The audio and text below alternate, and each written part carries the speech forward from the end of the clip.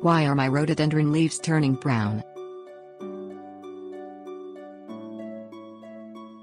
Rhododendrons are a shrub in the Ericaceae family, which also includes mountain laurels and blueberries.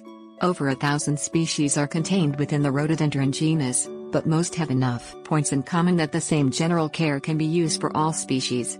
Leaf discoloration can be caused by a handful of factors, but it is relatively simple to treat.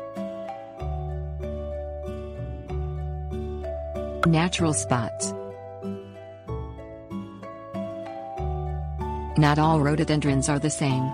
Certain cultivars, or strains, have inherently spotted leaves even when perfectly healthy.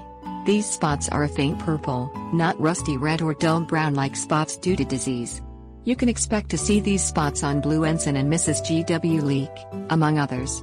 Familiarizing yourself with your new rhododendron will help you identify diseases and trouble spots later. Fungi and viruses.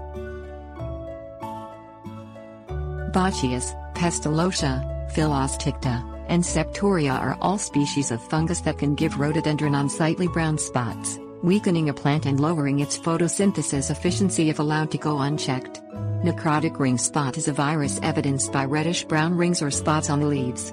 There actually isn't much known about it, but because it doesn't spread from one shrub to another or damage the plant in any other way, it's not considered serious.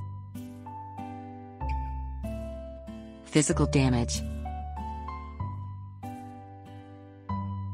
Direct damage to the leaves can be caused by multiple factors, including frostbite in winter although the full measure of the damage may not show up until April. Sunburn in summer rhododendrons are not ideal for long hours of direct sunlight, chemical contact or a lack of water. Not only can physical damage to the leaves brown them, but it also increases the likelihood that the affected leaf will be further compromised by fungal or viral infection.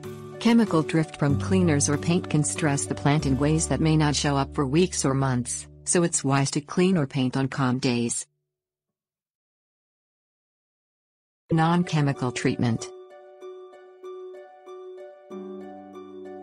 Whether you suspect the leaves are discolored due to infection or because of some other cause, remove the spotted leaves in order to prevent the shrub wasting resources on already damaged leaves they are unlikely to turn back to green.